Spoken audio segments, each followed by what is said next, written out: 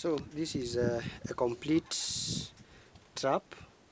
Remember, uh, this is our dustbin, the big one. Uh, the plywood here. We also have the wires, you can see them. Uh, these wires are tied together using an elastic material and uh, now when the predator come remember uh, we also have to put the bait inside the this container here.